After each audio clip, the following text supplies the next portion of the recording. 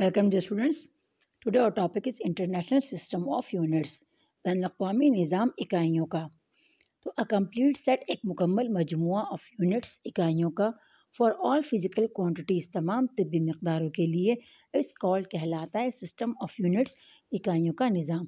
और physical quantities के बारे में पिछले लेक्चर में पढ़ चुके हैं, तफसील से कि वो क्या होती हैं तो हर वो मकदार जिसको हम नाप सकते हैं, उसे हम फ़िज़िकल क्वांटिटीज़ कहते हैं।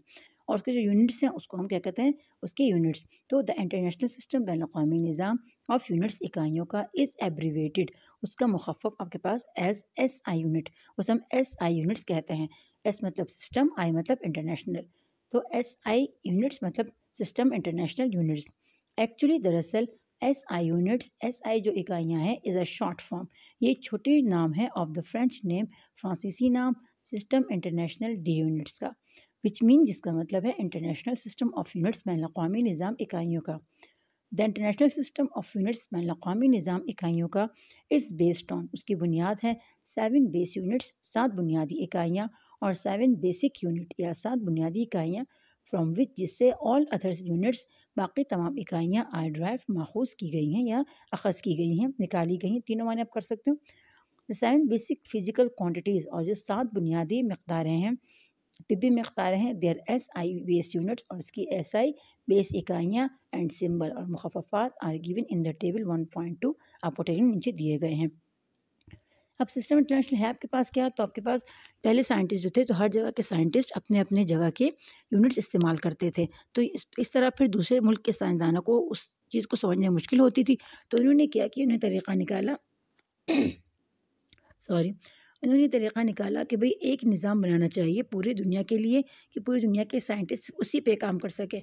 सपोज़ अब पाकिस्तान का आपके पास साइंटिस्ट अगर वो मास को के में लेता है और अमेरिका का या लंदन का जो है वो पाउंड में बात करता है तो इसमें आपके पास फिर समझना मुश्किल हो जाता है कि भाई ये क्या कह रहा है, क्या नहीं।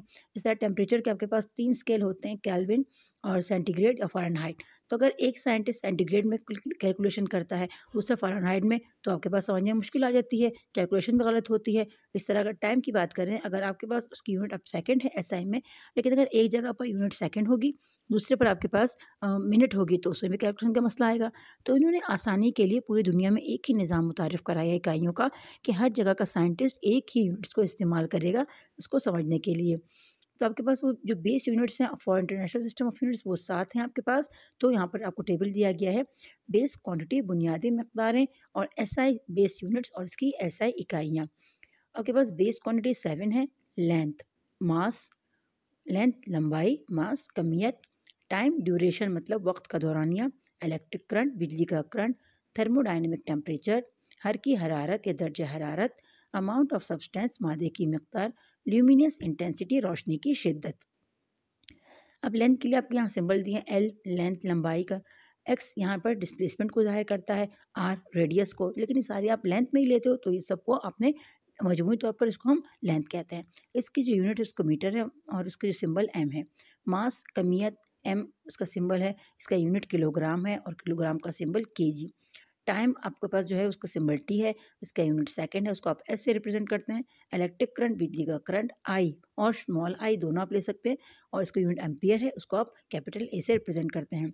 थर्मोडाइनमिक टेम्परेचर मतलब दर्ज हरारत जो आपके पास है, उसका सिंबल टी, इसका यूनिट कैलविन और आपके पास इसका सिंबल कैपिटल की, के। अमाउंट ऑफ़ सब्सटेंस मादे की मकदार एन उसको हम एन से रिप्रेजेंट करते हैं मोल को। आप आपके पास इसका यूनिट मोल है और उसके लिए एम ओ एल इस्तेमाल किया जाता है।